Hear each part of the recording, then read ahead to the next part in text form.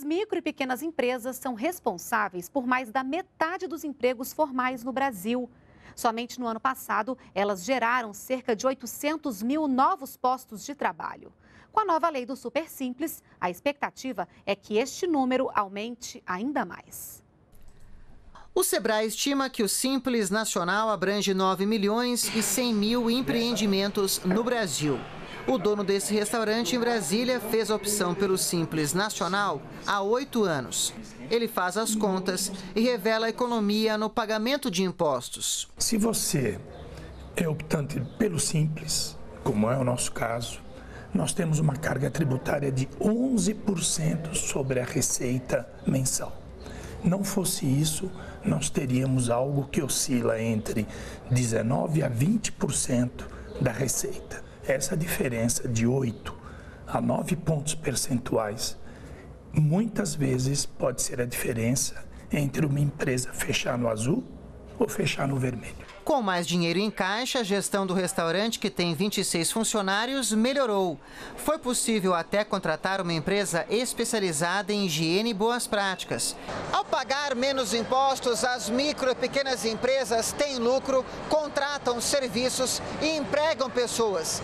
Fazem a economia do país girar e colocam em prática um ciclo virtuoso.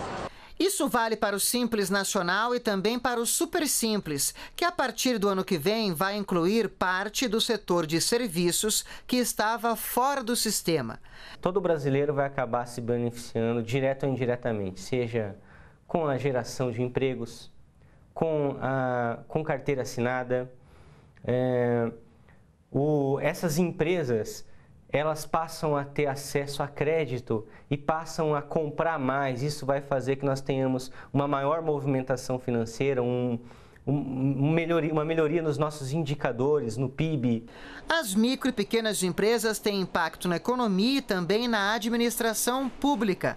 Com uma carga tributária menor, as empresas se formalizam e a arrecadação aumenta. Toda vez que você é, criou uma simplificação no processo, a arrecadação aumenta, porque você aumenta a formalização. Quem estava trabalhando por fora passa a trabalhar por dentro. Está né? Tá aí o MEI, um grande exemplo. Nós temos aí esses informais, são mais de 10 milhões no Brasil de informais. 4 milhões já se registraram. E eu pergunto, essa arrecadação não existia e passou a existir a arrecadação para a Previdência, para a Prefeitura, onde ele está, mesmo que ele pague pouco. Né? Então, a tese é a seguinte: quando todos pagam menos e de forma fácil, o governo arrecada mais. O Super Simples vai incluir 142 atividades ligadas à área de serviços no sistema de tributação simplificada. Com isso, médicos, corretores, escritórios de advocacia e outros profissionais podem aderir e passar a pagar menos tributos com menos burocracia. Assunto da nossa próxima reportagem sobre o Super Simples, que você vai conferir aqui na próxima semana.